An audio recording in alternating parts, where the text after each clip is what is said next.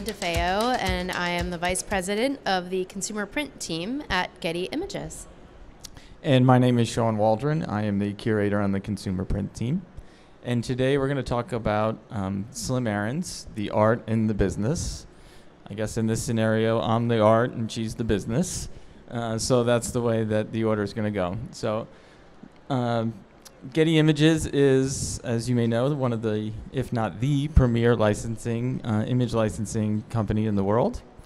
But besides image licensing, we also have a fine art business. Uh, we have a gallery that is in London, the Getty Images Gallery, and we have an online presence uh, at throughphotos.com. So Slim Aarons is one of many, many artists that we uh, work with, and he is a key artist for us, and I want to talk a little bit about his life, and we're going to look at some of his photographs, and then Leah's going to tell you about uh, how Getty manages the business.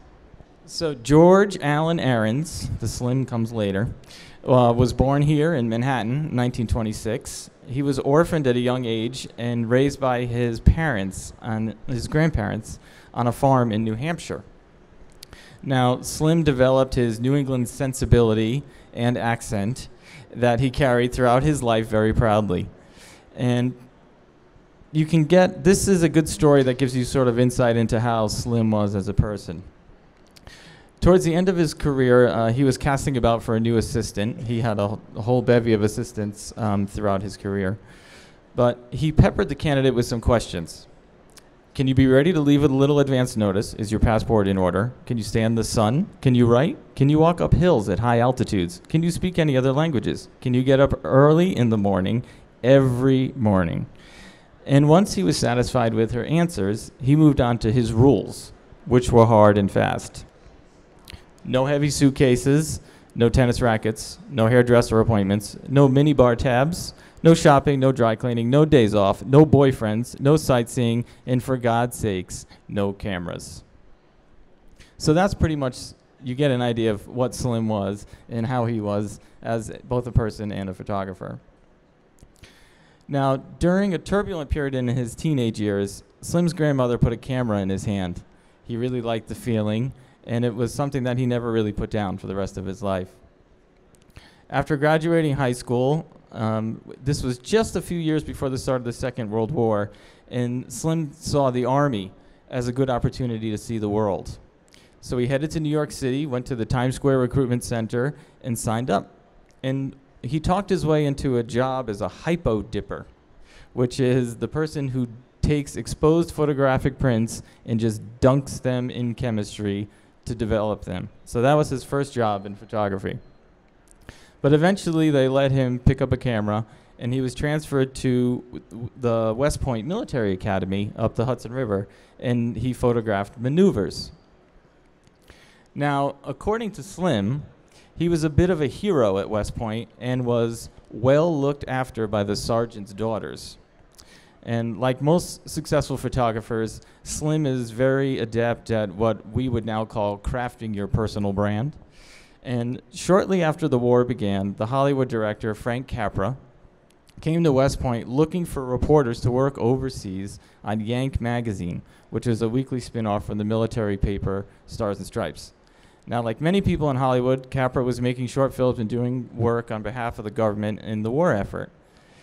And in a first of a pattern that would repeat itself throughout Slim's life, the tall, thin, handsome, and easygoing army photographer made a favorable impression on Capra. And soon, this simple New England farm boy found himself on a Pan Am Clipper headed for London in the Yanks office.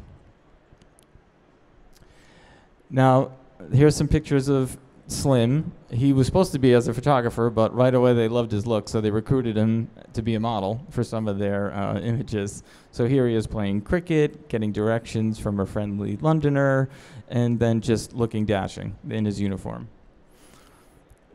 The military issued Slim a standard duty but very cumbersome speed graphic, which is a plate ca camera. They actually they were still shooting glass plates then. But he soon ditched it for a lightweight 35 millimeter Leica. I mean, there was no sense of going into war with a glass plate camera. Now, Army Slim was known as a bit of a rabble rouser with an earned reputation for using unconventional methods to get a scoop. And during the war, George Silk and Carl Mydans, who were two life photographers covering the war, became close friends of his. The three men stuck together throughout the uh, American campaign through Italy, and he joined the botched invasion of Anzio uncredited by commandeering a jeep. He witnessed intense action, saw some heavy casualties, and was really affected by it. And when German bombs fell um, on, near, on a dock near Anzio, Slim was seriously wounded, um, and the, he later earned a Purple Heart for that. As the campaign ended and the war came to a close, Slim and his two photographer friends rode into Rome together and watched it fall.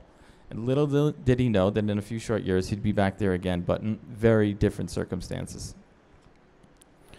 So, having survived the war, Slim returned to the U.S. determined to continue on his new career path. And unlike many of his fellow war photographers, Slim decided he had seen enough death and destruction to last a lifetime.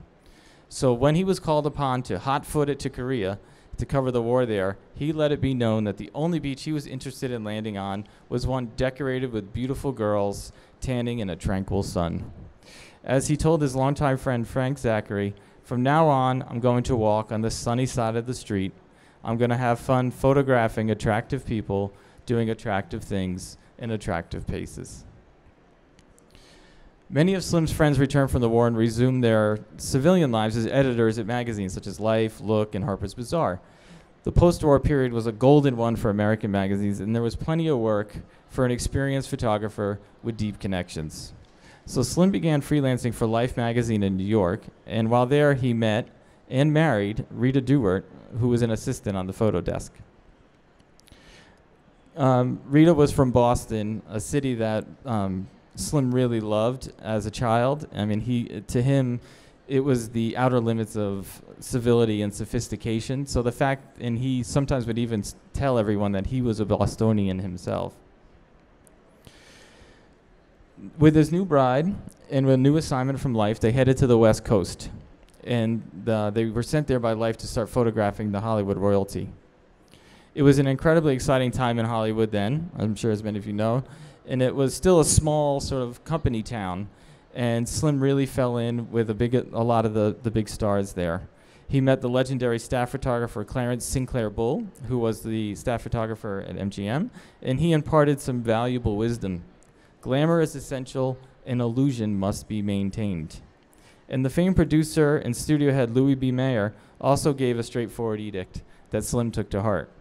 The women must be beautiful and the men handsome. And it was those two simple lessons that became the guiding principles behind his successful career. While he was in California, Slim managed to photograph all the greats Marilyn Monroe, Lauren Bacall, Clark Gable, Jimmy Stewart, Sophia Loren, and Jimmy Stewart, in particular, became a close friend with Slim. And since they were both tall and thin, sometimes people confused them.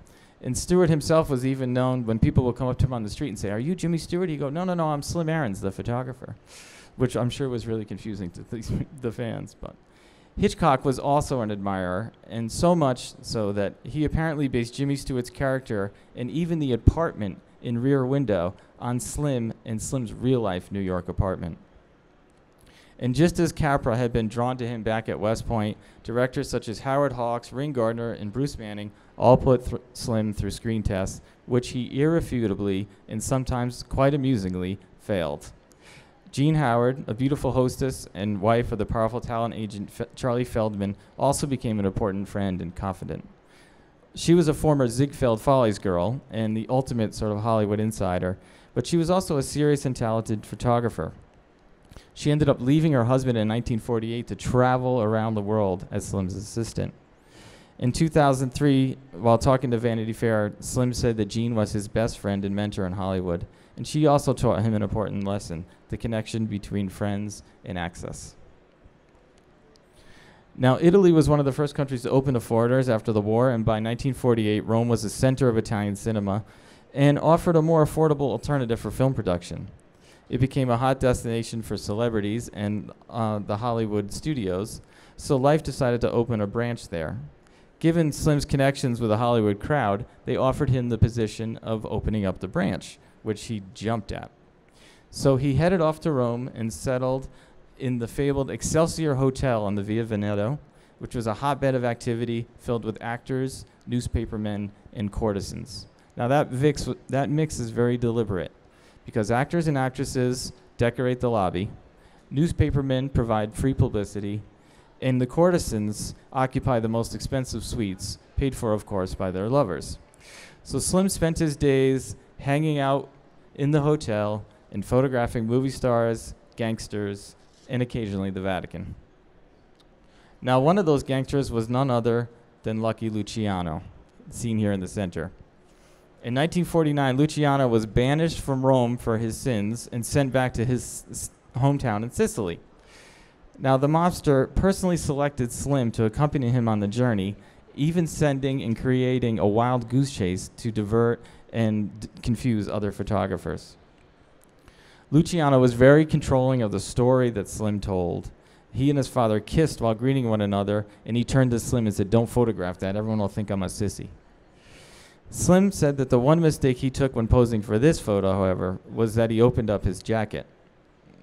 Strapped to his belt there, you see, that's actually his light meter, but everyone assumed it was a pistol, and he heard about it for years afterwards.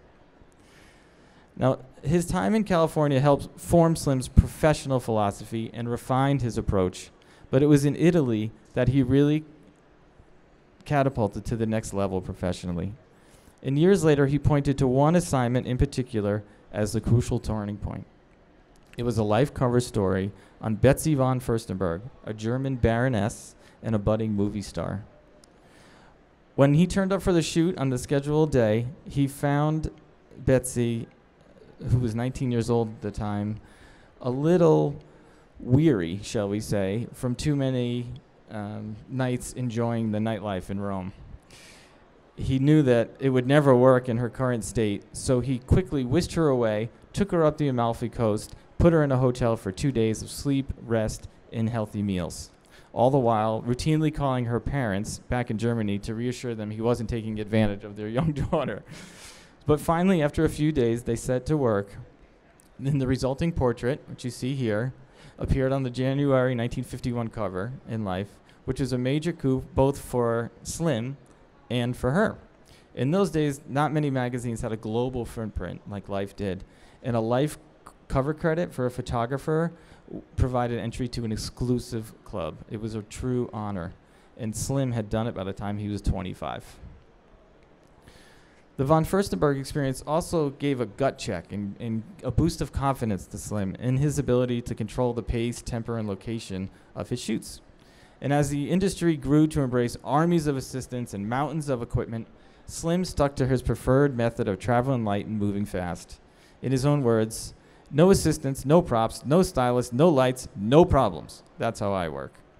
While his reasoning may have been personal preference, it was also extremely practical. Access to the palatial homes and opulous, opulent estates that he would become known for was much easier to negotiate when it was just him and maybe an assistant. Now, you can see here, here he is hopping off on yet another Pan Am flight, and he routinely carried a stainless steel briefcase with a single camera plus a backup body, a few lenses, a light meter. He measured out his film for the day, threw it in a bag that he carried himself, and he sometimes would carry along a small tripod. You can see it here strapped to the top of the bag. When he did have an assistant, what he called a tuttofare, which is Italian for handyman, she was utilized as a fixer, not as a technical assistant. And I say she purposely.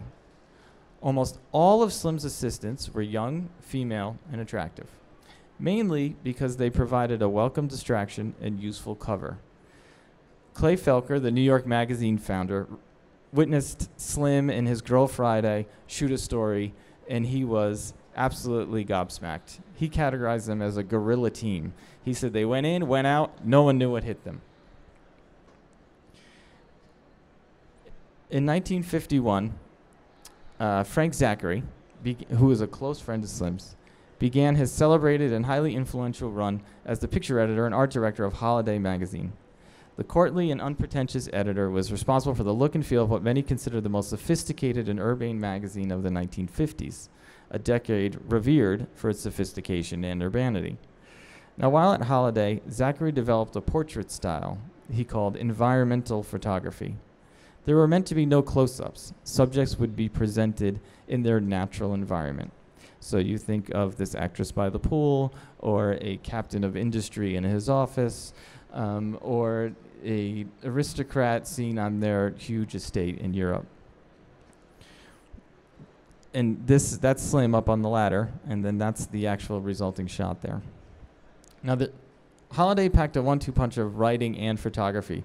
Frank Zachary recruited Arnold Newman, Henri Cartier-Bresson, Tom Hollyman, Fred Maroon, and of course Slim Aarons.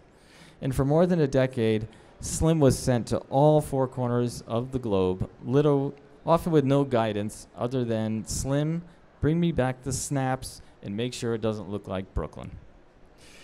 Now, Slim found a lifetime friend and mentor in Frank Zachary. The two men respected one each other personally, but also connected on an artistic level.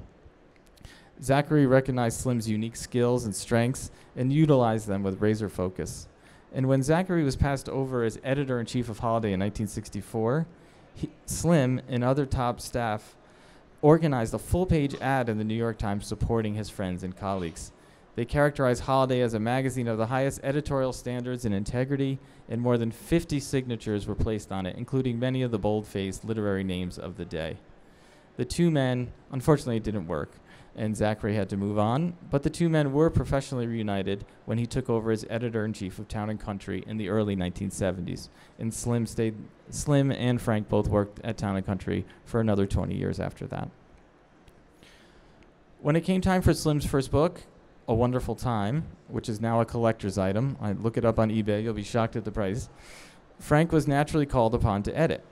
In the introduction to his second book, to Slim's second book, Once Upon a Time, Zachary wrote Slim has documented the life of the wealthy, the privileged, and the leisured for 50 years. Without animus or adulation, he's mirrored the changing countenance of society, facelifts and all. His sustained focus on the historically inaccessible segment of society is without parallel in the annals of photography. Others have recorded the manner and mores of the classes, but Slim's achievement stands alone. It is the only visual chronicle, and in living color too, of the privileged class of our time the way they lived, dressed, and furnished their homes. His pictures are works of a consummate artist in the guise of a photojournalist. They are carefully crafted, articulated images shaped by a keen sense of form and design. It's their impeccable and seemingly artless composition that makes Slim's photographs so easy to enjoy and appreciate.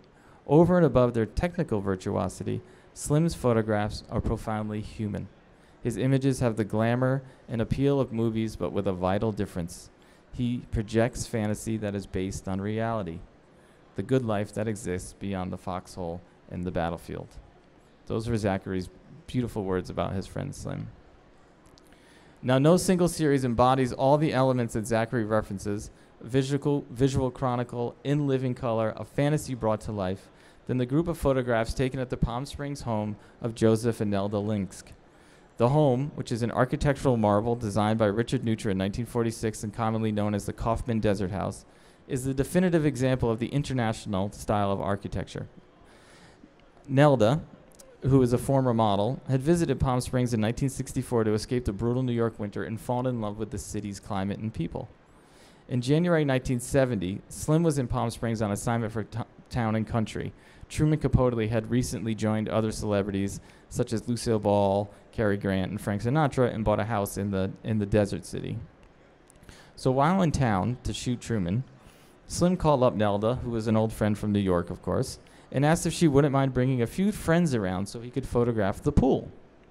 She obliged, and a small group that included the industrial designer Raymond Loewy, the actress Rita Baron, interior designer Steve Chase, and a former model, Helen Dzo Dzo Kaptur, languidly gathered for afternoon cocktails around the pool with the majestic San Jacinto Mountains hovering off in the distance. This is a time lapse which really illustrates Slim's approach. He obviously arrived early, chose a spot, set his camera up on a simple tripod.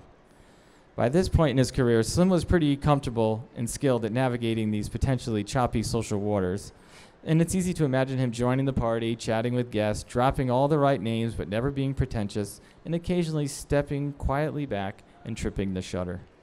As the scene candidly and organically unfolds, he simply goes along for the ride. Now, recently, Nelda, who reveled in the 15 minutes of fame the shoot has afforded her, jokingly remarked, If I had known the photo would become so famous, I would have dressed a little better. But that would have ruined it, I think. For this is fantasy based on reality. These are real people unconsciously living lives that are incredibly fabulous, charming, and chic, don't get me wrong, but most important, appear not entirely unfamiliar or out of reach. Now, Getty Images has seen an incredible spike recently in searches around the concept of authenticity. Poolside gossip is the antidote to carefully curated digital lives that we now face.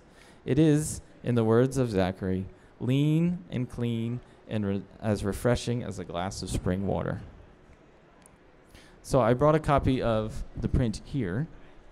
So this is from our booth. You can come and come up front afterwards and see it. This is the image from the shoot.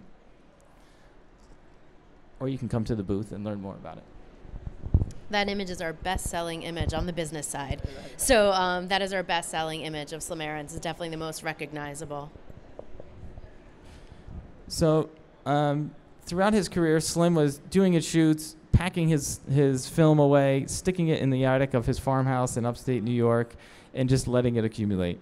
And in 1973, that attic was kind of bursting at the seams, so he said, There has to be something I have to do here. And was there hardly a movie star, socialite, or European aristocrat that he hadn't even photographed? You know, there didn't seem there was anyone left. So at that time, um, he took it as a sign and he decided to do a book that I mentioned earlier, A Wonderful Time. Now, it wasn't an immediate hit for Slim. The 70s were hard econ- economic times in America, and the counterculture, counterculture tastemakers of the day weren't interested in looking at a book that had photographs of people that kind of looked like their grandparents' friends. so it sold a respectable 20,000 copies at the time, and Slim continued to do his work uh, for Town and Country and lots of other magazines for two more decades.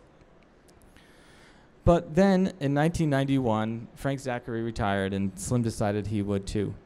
And it was around this time that the 70 counterculture group had aged and mellowed a little bit, right? So suddenly, manicured lawns and island resorts didn't look that bad. And compared to the tabloid culture dominating the 1990s, or what Vanity, Refa- Vanity Fair called unattractive people in unattractive places doing unattractive things, Slim's rose colored version of the world presented a nostalgic look at a not too distant past. So the fashion crowd especially couldn't get enough of it. Anna Sui, Michael Kors, Paul Smith, and Ralph Lauren looked to Slim as both an inspiration and a blueprint. The book became took on a second life of its own and became a must-have um, book for any designer, either interior or fashion. It is said at the time that 47 copies disappeared from Vogue's offices. They just couldn't keep it in stock.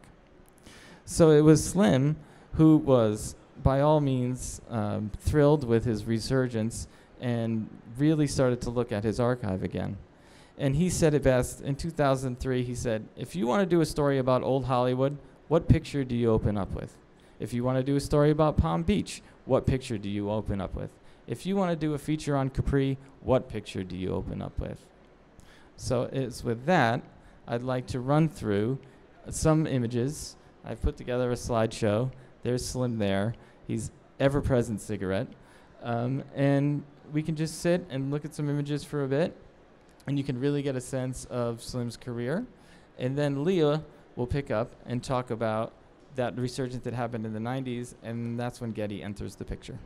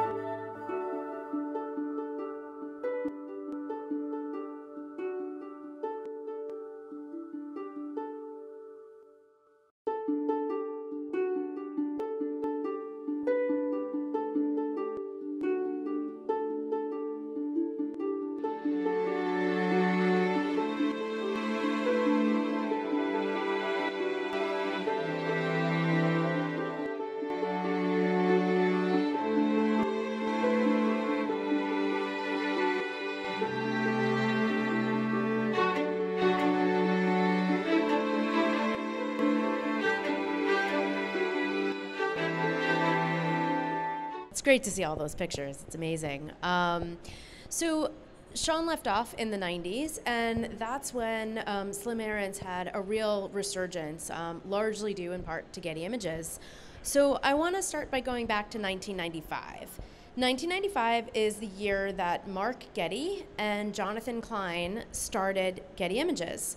And Getty Images as a company has a long history of acquisitions. Um, we've acquired many photographers' archives, um, many smaller stock photography agencies, and um, we are the world. We have the world's largest collection of photography for licensing and for distribution. In 1996, we purchased the Hulton Archive, and that's um, a, a portion of the Hulton Archive is what you see pictured here. Um, it was in London, and we purchased it. And when we purchased it, it held over 60 million vintage prints, negatives, transparencies, glass plates, and more, starting from the birth of photography. The archive was, and quite frankly, it still is, absolutely massive. Um, it's a treasure trove. I mean, we uncover gems there all the time. There's literally boxes that we haven't even gotten to open yet. So um, it was around the same time um, in the mid 90s. Quite frankly, Slim had been a little bit forgotten. Um, however, there's a London gallerist, he's a photo gallerist, his name is Michael Hoppen. Um, some of you may know him, he still runs a great gallery in London. Um, and he purchased a couple of um, Kings of Hollywood shots, and that's the shot you see here. He purchased those from Slim Aarons and he uh, went to his home in Bedford, New York to pick them up. And when he was there, he was really impressed with what he saw. And as Slim tells it, the next thing that happened was, oops, there, sorry. Um, there was a knock on my door, and standing there in a windbreaker was a young, good looking guy. I assumed he was a landscaper looking for a job, but turns out it was Mark Getty, owner of Getty Images. Mark had heard from Michael Hoppen that Slim's archive was something he really had to see. So the story goes that Mark and Slim climbed the staircase and went up to his attic and went in to see boxes and boxes and boxes of, um, let's see, they're right here. Boxes that look just like this um, with many different destinations on them Bora Bora, Cortina, Rome, Paris, London, um, cities all over the world. And Mark pointed to a box labeled Rome and asked if he could peek inside. So he did, and the first transparency he pulled up, he looked at it and said, My God, that's where we held our wedding reception. So an immediate connection between Mark and Slim was made. Um, Mark decided right then and there to purchase the collection. It was an immediate decision. And, um, you know, he asked Slim what he wanted for it. And I can't disclose um, what he paid for it, um, but I will say it took a real leap of faith for Mark to make that purchase. Getty Images had just acquired 60 million images, and we still hadn't explored, you know, what was in those 60 million boxes full of images. Um, and and I know when this talk is over, the first thing that's going to happen is someone's going to raise their hand and say, "Well, how much did you pay for the collection?" Right? Because I'm the business person. That's what they ask. Um, and again, I can't tell you that, but I can tell he was very happy with it because he was quoted in Vanity Fair as um, saying this about the collection. I'm going to use a profanity, so I'm just giving you a heads up in case you don't want to hear a profanity. Slim said, He gave me what I call fuck you money. Remember this because it's important. You're never free until you have fuck you money. So Slim was very happy with the amount of money he got. Um, and to Getty Images, it was a big sum of money, um, but it was what, one that Mark believed in. He felt this was a worthwhile investment. He saw the value in these images, and he made a good move. The collection for us has returned many, many times over. So the key to monetizing the archive was first knowing what was in it, right? So the collection was brought from New York over to London, and it was hundreds of boxes. And our archivists at our gallery went through them and quickly pulled out images that either were best known and that were, you know, had already been published, already been, you know, known about, um, or things we saw would sell really well as fine art prints. And we showcased them at Getty Images Gallery. And at that time, Getty Images Gallery was housed um, in the first floor of Michael Hoppen's gallery in Chelsea, in London. Um, today, the gallery is on East Castle Street, which is by Oxford Circus. Um, and we are, um, we are no longer uh, partners with Michael Hoppin, but we work with him all the time. So today, we actually are still going through those boxes. And in fact, twice a year, we release never before seen images. So there's so many images in that collection that we're still releasing things that have never been seen by the public. So the way we monetize the collection is um, three ways, uh, three categories. The first category is through prints and publishing. The second is through editorial licensing. And the third is through commercial products. So I'm going to take you through those three things. So um, the first is, like I said, prints. And with Slim's photos, what really worked was that it was the right content at the right time. The mid 90s saw a real resurgence of mid century modern design, and people loved the lifestyle that was depicted in the photographs and the fashion of the era. So momentum continued with Slim's photography, um, but it was largely because we created a market for it. And beyond creating a market, we really created a brand. The brand of Slim Aarons is immediately associated with an aspirational lifestyle. And it's a brand we've worked really hard to both build and to protect at Getty Images. The vast majority of revenue um, that we generate, and you know, I went through the categories with you guys, um, but the vast majority actually comes from fine art print sales. And from a print perspective, we sell these prints um, through many dis different distribution outlets. Um, first and foremost, our own. So we sell these prints through Getty Images Gallery as well as Photos.com. And we sell them through a reseller network. So we work with um, galleries um, all over the world, Staley-Wise here in New York. We work with retailers like Jonathan Adler, uh, One Kings Lane, and any Slim Aarons print, though, that you get at any of those places, they all originate with us. And when it comes to signed prints, we have some inventory still. Um, but back in the day, when we first bought the collection, if someone wanted to purchase a signed print, we would drive right up to Slim's house and we would have him sign the prints. Um, but after his passing, um, we began to offer estate stamped prints, and that's a way for us to carry on his legacy. And we offer those in editions of 150. And you can see a handful of them. They're actually on display at our booth in 505 um, if you want to see them.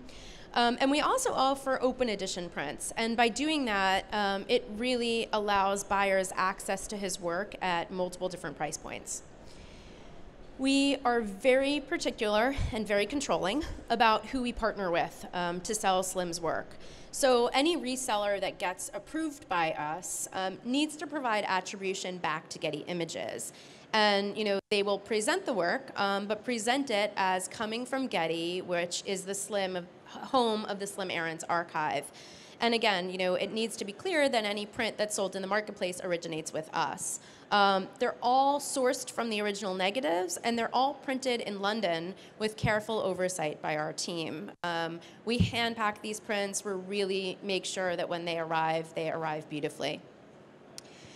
We look for opportunities to sell fine art, um, places like this, right, where we know there'll be photography buyers. Um, and our bread and butter is actually selling to trade clients. So interior designers outfitting clients' homes. Um, we have a lot of interior designers who work in Palm Springs and you know in the places where Slim a lot of, uh, you know where Slim's photos were taken. We regularly exhibit at trade fairs. We're at Maison Objet in Paris um, every year, and it's about building those relationships with the clients that come year after year. So that's the print side of the business, the fine art print. Um, and what goes hand in hand in that um, is publishing. Those two things, they really feed each other. As Sean mentioned, Slim's first book, A Wonderful Time, was published in 1974. Um, and it sells for hundreds, if not thousands of dollars on eBay. Um, you know, we knew there was demand for more books, and it was natural to do more books of Slim's work. there was a VP at Getty Images um, named Eric Rackless who decided that Abrams was the right partner for us to work with um, for book publishing.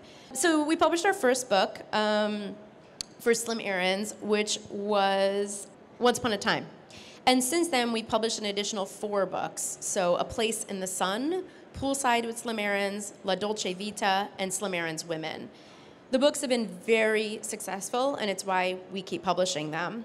Um, and they really help raise awareness and generate demand for the fine art print sales. So it's a really, really good tool for us. The next category of revenue is editorial licensing. So this is a snapshot from gettyimages.com, and you can see a lot of Slim's images here. Um, although the Slim archive um, in London holds over a million images and pieces of ephemera, we have less than 5,000 images scanned and available online. So it's a small fraction of what we hold. Uh, those images are made available for editorial use only, and they're very popular with magazines. As Sean said earlier, you know, if someone is looking to do um, a story about old Hollywood, you know, they come to us and they look for the Kings of Hollywood shot, for example. Um, but you know, editorial licensing again is not the main driver for revenue for us. Um, but like publishing, it helps to make sure that Slim's images are out in the public eye, are being seen in magazines, are being seen, you know, and, and it generates interest. The next category, um, this is about Slim and it's not about Slim and his attractive photographing of people, although um, it works. Um, this is um, some an example of our commercial deals. So as I mentioned, images listed on gettyimages.com are listed for editorial use only. And we welcome conversations about commercial use, but commercial use becomes a conversation that's actually had directly with me. Um, and we carefully consider every opportunity, but the deals we do are few and far between. And again, that's about building Slim's brand and about protecting it. And we recently did an exclusive deal with Orlebar Brown um, for men's swimsuits. And this is an example of some of the suits. And they currently sell for over $350. So it's a high end luxury product, a great fit for the Slim Aarons brand. And the great thing for us, and the reason that it became a real win for us, is Orlebar Brown was happy to tell the story of Slim Aarons, to tell the story of these photographs and of the photographer. Um, you go to the website, you can read about it. Um, you go to the store, and you'll see the hang tags that have information about him on it. So we're really thrilled. These hit the market um, very recently, and we're really thrilled that they're out there now. We have um, a dedicated individual at our archive in London. Um, his name is Alex, um, and we jokingly call him the Slim Aarons Police. So his job is to ensure that Slim Aarons images are used for the terms and conditions that were set forth um, for their use. So if somebody purchases an editorial license for a Slim Aarons image to use it in a magazine, that they don't then turn up selling those images somewhere, right? So we're very particular about um, monitoring that, um, and we have a legal team in place that helps us to um, ensure that if we're seeing unauthorized use, that it's being addressed. In summary, um, the business of monetizing Slim Aarons is quite varied, uh, but the bread and butter is for us fine art prints. And um, we really hope you'll come find us and come take a look at the prints in person. We have a variety of the um, estate stamp prints, and others in our booth. It's number 505. And we have talks throughout the weekend. So we have um, talks meeting our curator, Sean, learning more about the collection. We're happy to take any questions, um, you know, afterwards. We'll be around and, you know, we'll be at the booth as well, 505. So um, thank you. Anything else?